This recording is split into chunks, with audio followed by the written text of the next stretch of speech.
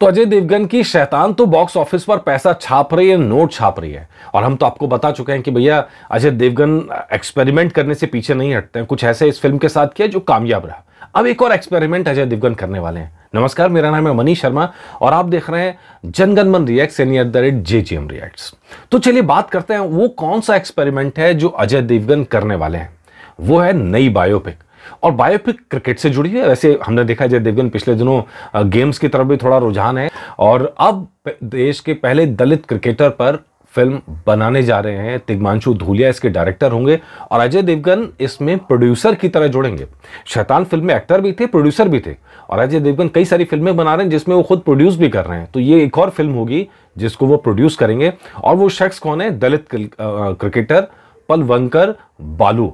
ये उनकी बायोपिक बनाने जा रही है। अब प्रोड्यूसर्स की बात करें तो तिग्मांशु धूलिया काफ़ी समय से प्रोड्यूसर ढूंढ रहे थे, लेकिन अब अजय देवगन ने इसके लिए हाँ कर दिए इसके लिए रामचंद्र गुआ हैं। उनकी किताब है the corner of a foreign field, the Indian history of a British sport कि ये किताब है जिसके बेस पे फ़िल्म बनी, उसके राइट्स ले लिए हैं और साथ ही बालू का परिवार जो है, उससे भी राइट्स ले लिए गए हैं।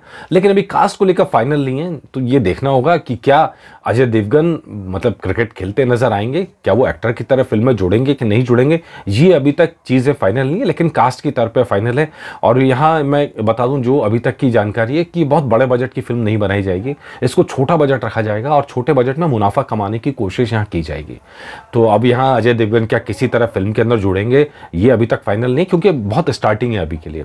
तो अब हम आपको ये भी बता दें, पलवंकर बालू कौन थे? 19 मार्च अट्ठारह को उनका जन्म हुआ था और 17 साल की उम्र में पुणे के इंग्लिश क्रिकेट जो क्लब था, उसमें काम करने लगे थे। ग्राउंड स्टाफ का काम पहले उन्होंने किया, जिसमें पिच को रोल करना, मैदान को संभालना नेट्स लगाना, ये सब थे। लेकिन यहीं करते करते वो खेल की तरफ़ बढ़ने लगे। मतलब वो जो स्ट्रगल होता है एक शख्स का, वो उनके यहाँ दिखाई दिया। धीरे धीरे वो गेंदबाजी करने लगे और फिर बॉम्बे में हिंदू जिमखाना जो क्लब था, उसके लिए खेलना शुरू करा। और उसके बाद nineteen double one one nine double one, उन्नीस सौ ग्यारह में भारतीय टीम का हिस्सा बन गए, फिर इंग्लैंड गए, और लेफ़्ट आर्म स्पिनर ने 23 मैच खेले, कुल 114 विकेट उन्होंने लिए। तो ये ये जो ये चीज़ें हैं ना, जो उनकी लाइफ की, कि कहाँ से शुरू करा और कहाँ तक पहुँचे, और अंग्रेज़ों के दौर में वो भी। तो ऐसा कहा जाता है कि जब वो खेलते थे तो जब वो विकेट लेते थे टीम के बाकी खिलाड़ी उसका सपोर्ट नहीं करते थे, वो जश्न भी नहीं मनाया जाता था, कुछ इस तरह की चीज़ें थी।